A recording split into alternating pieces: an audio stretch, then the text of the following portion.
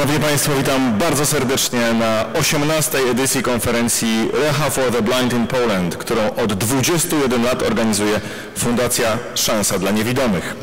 Patronem wydarzenia jest samorząd województwa mazowieckiego. Współorganizatorami są Biuro Pomocy i Projektów Społecznych Urzędu Miasta Stołecznego Warszawy, The Center for the Blind in Israel, Fundacja Challenge Europe w Polsce we współpracy z International Mobility Conference, Zespół Pedagogiki, Pedagogiki Specjalnej przy Komitecie Nauk Pedagogicznych PAN. Konferencję dofinansowują Państwowy Fundusz Rehabilitacji Osób Niepełnosprawnych, Samorząd Województwa Mazowieckiego, Mazowieckie Centrum Polityki Społecznej, Miasto Stołeczne Warszawa. Spotkanie odbywa się we współpracy z World Blind Union i European Blind Union. Cieszymy się, że są Państwo z nami. Czekamy powoli na kolejnych uczestników. To normalne. Oczywiście reżim sanitarny powoduje, że mamy chwilę opóźnienia, za co bardzo gorąco Państwa przepraszam. Państwo tego doświadczyli. Trzeba zmierzyć temperaturę, trzeba zachować dystans społeczny. Rekomendujemy oczywiście to, aby nie witać się poprzez uścisk dłoni i także w przypadku poczęstunku, który jest tutaj przygotowywany, mam bardzo dobrą wiadomość. Nie będzie trzeba tłoczyć się w kolejce. Ten poczęstunek zostanie Państwu zaserwowany zgodnie z planem do miejsc, w których Państwo w tej chwili siedzą. Zresztą więcej dobrej wiadomości za chwilę będziemy mieli.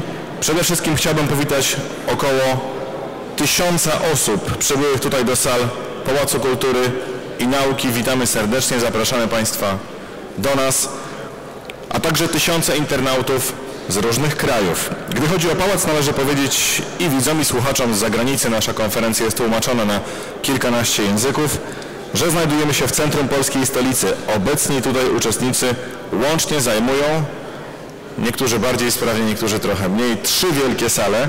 Pewnie zmieścilibyśmy się w jednej, ale reguły właśnie sanitarne i reżim powoduje, że musieliśmy to podzielić na trzy wielkie sale. Pilnujemy zasad bezpieczeństwa i mamy nadzieję, że wszyscy są i nadal będą zdrowi. Co bardzo ważne, wszyscy uczestnicy zostali sprawdzeni pod kątem ich stanu zdrowia, więc możemy wspólnie spędzić te aż cztery konferencyjne dni i wziąć udział w licznych wydarzeniach konferencji przygotowanych przez Fundację Szansa dla Niewidomych.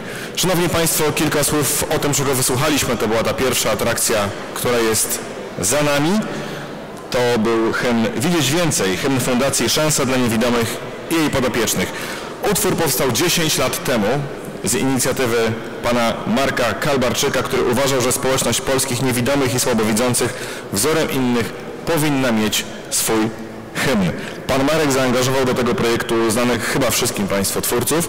Słowa napisał Jacek Cygan, muzykę Lidia Pospieszalska. Na fortepianie grał przyjaciel pana Marka, niestety nieżyjący już pan Janusz Skowron, a na gitarze pan Marek, który jest gitarzystą amatorem. Naprawdę dobrze to wyszło, choć pan Marek generalnie, gdy rozmawia się o tej jakości grania, to zawsze się uśmiecha i podkreśla, że jest amatorem, ale Państwo słyszeli, że nie da się tego absolutnie stwierdzić. Hymn zaśpiewała Wiola Brzezińska, zapamiętana jako zwyciężczyni Szanse na sukces z roku 1995. Ten tekst nie jest przypadkowy, tekst Jacka Cygana.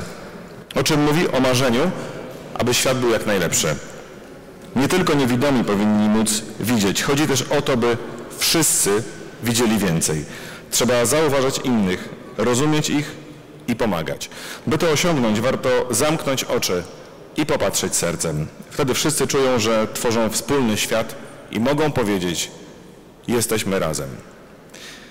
Panie i Panowie, tak myślę przy okazji, że można było Panu Markowi brawa z okazji tego hymnu. Piękne słowa, piękna inicjatywa.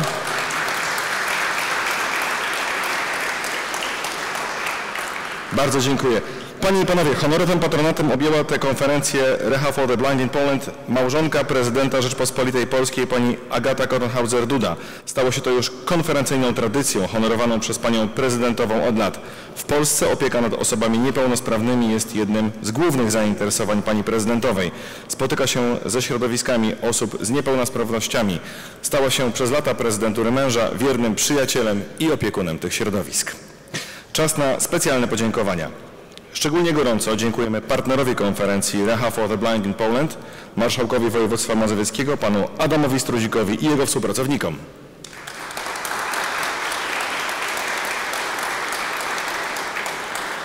Dziękujemy serdecznie patronom medialnym, Dziennikowi Rzeczpospolita, Grupie RMF, Tygodnikowi Angora, Portalowi Sieci Prawdy, Radiu Wnet FM, magazynowi Woman in the World oraz Tygodnikowi Kurier Praski.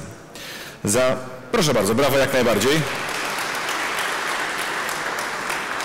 Za dofinansowanie tego spotkania, sesji merytorycznej, wystawy, paneli dyskusyjnych i pobytu dla setek niewidomych w świetnych warszawskich hotelach dziękujemy bardzo serdecznie Państwowemu Funduszowi Rehabilitacji Osób Niepełnosprawnych z jego prezesem, panem Krzysztofem Michałkiewiczem na czele.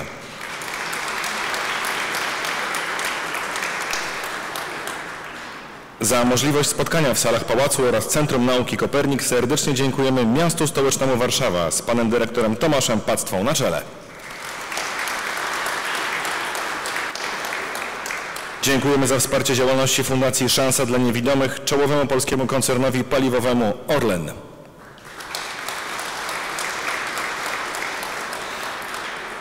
Dziękujemy pięknie firmom, które współpracują z Fundacją i sponsorują jej działalność, a więc światowemu liderowi technologii rehabilitacyjnej dla niewidomych i słabowidzących amerykańskiej firmie Vispero i wiodącej w tej dziedzinie na polskim rynku firmie Altix. Bardzo pięknie dziękuję w imieniu organizatorów, gospodarzom, zarządcom obiektów, w których odbywa się konferencja, więc Pałacowi Kultury i Nauki oraz Centrum Nauki Kopernik. Proszę Państwa, i teraz szczególnie poproszę na koniec o wielkie brawa, zaraz wyjaśnię dlaczego. Gorąco witamy uczestników konferencji online, zarówno z Polski, jak i z całego świata. Oglądają i słuchają nas teraz w tak egzotycznych krajach jak o, Japonia, Myanmar, Nepal, kilka krajów arabskich, Izrael, USA i Kanada, niewidomi i słabowidzący z wielu krajów europejskich oraz z krajów postradzieckich. W związku z tym wystąpienia są tłumaczone, jak powiedzieliśmy, na kilkanaście języków. To, że tłumaczymy na język angielski, rosyjski, niemiecki, to w pewnym sensie oczywista oczywistość, ale hebrajski i arabski to na pewno jest duży wyczyn i sukces Fundacji. Panie i Panowie, zatem pozdrówmy gorąco uczestników tej konferencji online.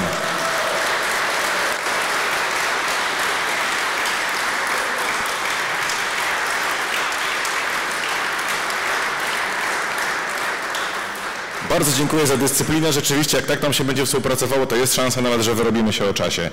Panie i Panowie, najpierw osoby, którym zawdzięczamy dzisiejsze spotkanie. Witamy Panią Prezes Fundacji, Panią Malwinę Wysocką-Dziubę.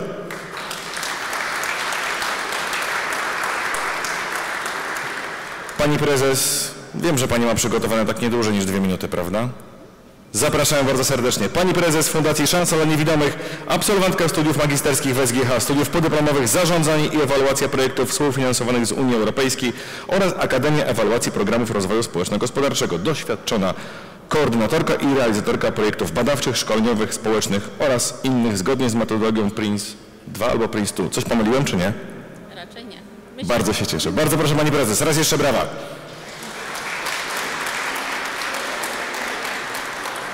Dziękuję bardzo za takie, y, za, za takie powitanie. Nie spodziewałam się.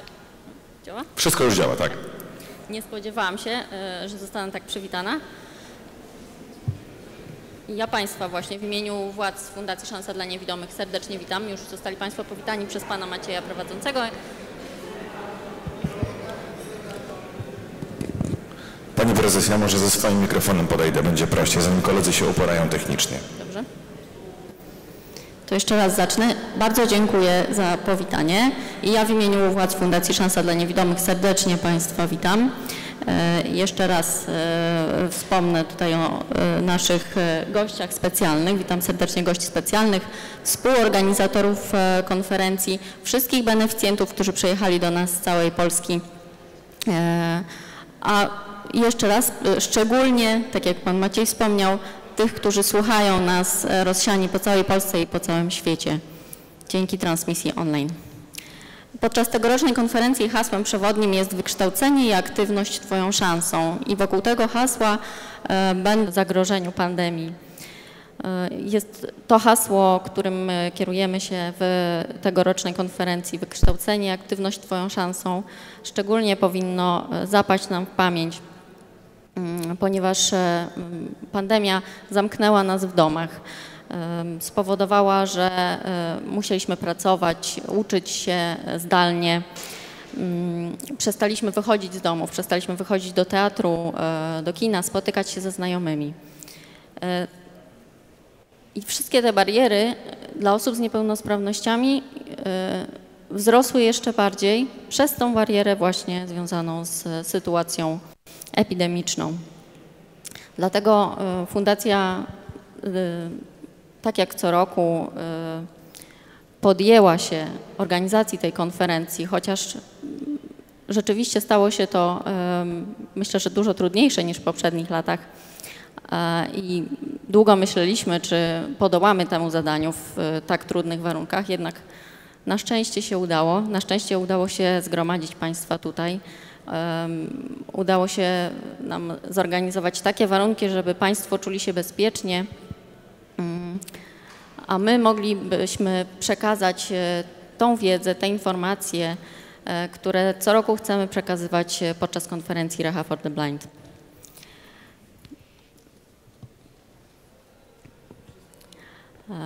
Konferencja Reha jest najważniejszym zadaniem Fundacji Szansa dla Niewidomych, które, nad którym pracuje cały nasz zespół.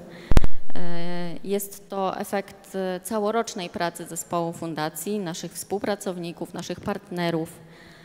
Mm, Dlatego chciałabym e, z tego miejsca serdecznie podziękować całemu zespołowi Fundacji, współpracownikom, e, organizacjom, instytucjom, które przyczyniły się do e, zorganizowania tegorocznego wydarzenia i szczególnie podziękować za tą pracę e, w warunkach, które w tym roku e, nas e, spotkały. Serdeczne podziękowania składam też dla pana Marka Kalbarczyka, hono- honorowego prezesa Fundacji Szansa dla Niewidomych. Mm, Ja osobiście w tym roku nie mogłam bezpośrednio poświęcić całych swoich sił na pracę na rzecz konferencji i fundacji, ponieważ e, niemal e, trzy miesiące temu zostałam mamą i musiałam trochę czasu poświęcić rodzinie, ale pan Marek swoją wiedzą i, i wsparciem e, myślę, że zastąpił mnie, także bardzo serdecznie dziękuję za, tę e, za tą pracę, którą cały czas dla fundacji wykonuję. E, Życzę Państwu e, owocnych obrad, wartościowych e, dyskusji e, i mam nadzieję, że te warunki, z którymi się borykamy w tym roku, e, nie spowodują, że konferencja będzie gorsza od poprzednich, a wręcz nawet, że będzie o wiele lepsza. Życzę Państwu owocnych obrad, wszystkiego dobrego i dużo zdrowia.